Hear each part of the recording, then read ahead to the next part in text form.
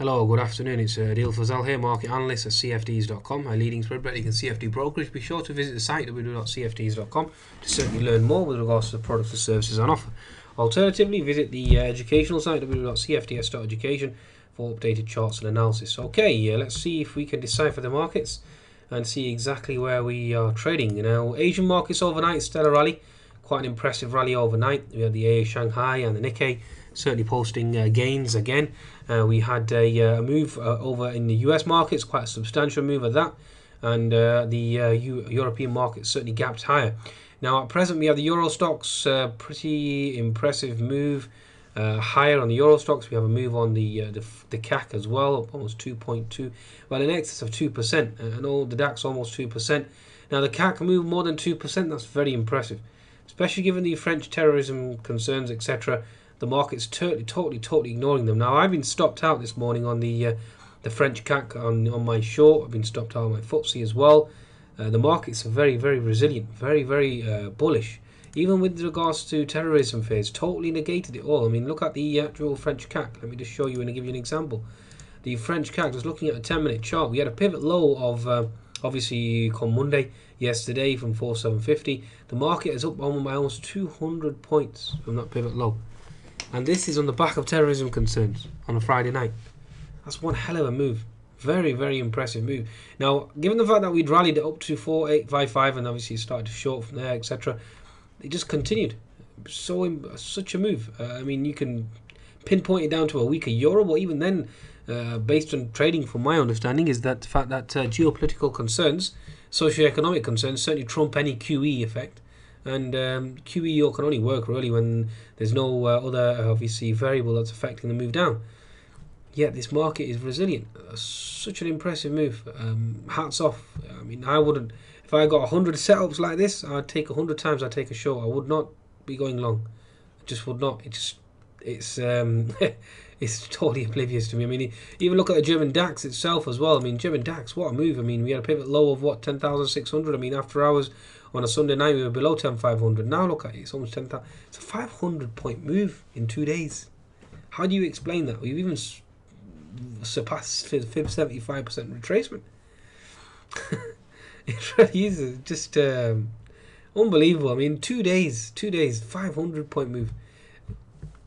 You have to take your hat off to it. Respect. Okay, so um, so we continue as traders. We continue. It's not something that we. Uh, I mean, as as as a day trader, I mean, a day if you only, I risk forty points in the DAX and the CAC, and I risk thirty points in the FTSE and uh, the Euro Stoxx and the the Nasdaq. I mean, they're the main indices that I trade. And worst case scenario, okay, you stopped at minus thirty, minus forty, and then you continue. But imagine those that are short anywhere around this region here, and they're probably down two to three, four hundred points. It's just it's unbelievable, truly unbelievable. Okay, uh, this is why day trading, from my perspective, certainly does work uh, and is better off for me anyway, from my perspective. Uh, and everybody has their own different trading styles. Okay, so we had this diagonal trend line resistance. Has even taken that out. It just certainly is just I think it's used to taking out heavy resistance on the German DAX.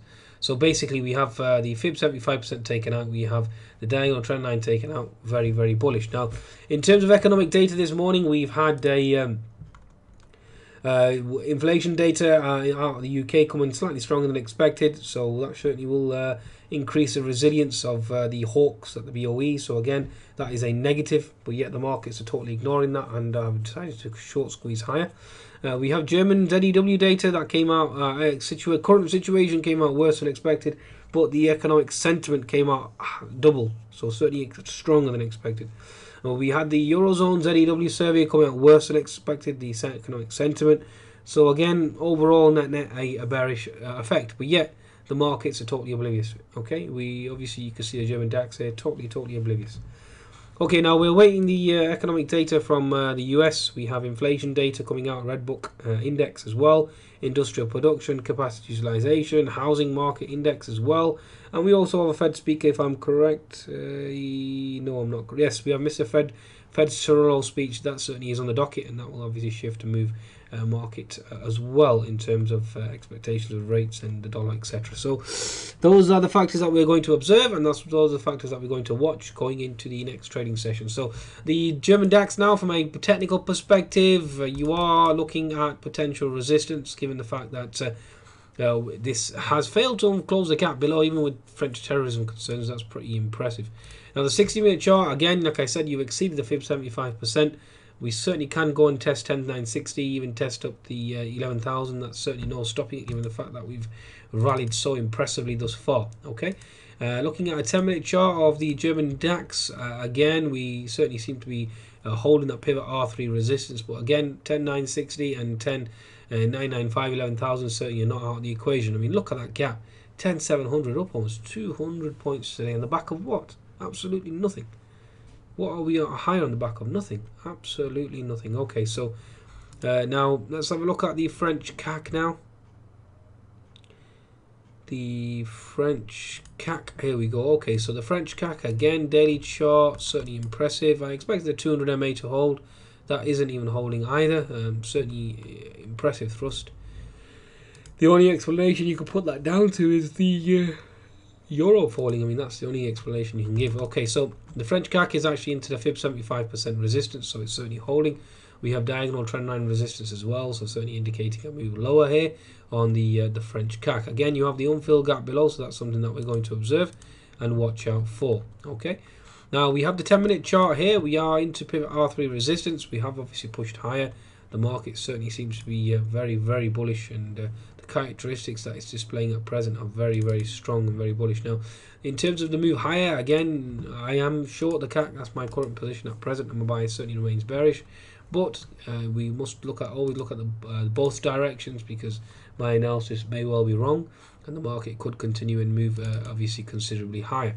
Now we have this unfilled gap up here at uh, 4946 again that may well be a target. You have the unfilled gap below, which is at 4800, that needs to close. So, and the inverted head and shoulders formation obviously has played out as well. So that certainly is negated thus far. Okay, so all resistance zones certainly taken out, certainly negated. Very, very impressive move. Now, in terms of the Euro Stoxx, let's bring up this chart of the Euro Stoxx. Okay, Euro Stoxx itself, again, strolling at pivot R3 resistance. Looking at the daily chart again, what very very impressive thrust higher on the daily chart. Again, like I said, we do have this inverted head and shoulders formation, but given the fact that we have terrorism concerns from France, that certainly was the dominant theme, and that obviously has been ignored thus far. Look at that move higher. Very, very impressive move higher. We are into that fib 75% resistance on the Euro Stoxx, so therefore you are looking for weakness at this juncture. Okay, certainly looking for weakness at this juncture. Now, in terms of the FTSE 100 now. Again, looking at the daily chart of the FTSE 100, we have propelled and thrusted higher quite substantially, okay, on the FTSE itself. 60 minute chart, again, certainly have thrusted and broken out. We are testing that fib 75% resistance, but we have taken out the diagonal trend line as well, taking out previous support equals resistance as well. So certainly is showing a very, very bullish price action thus far.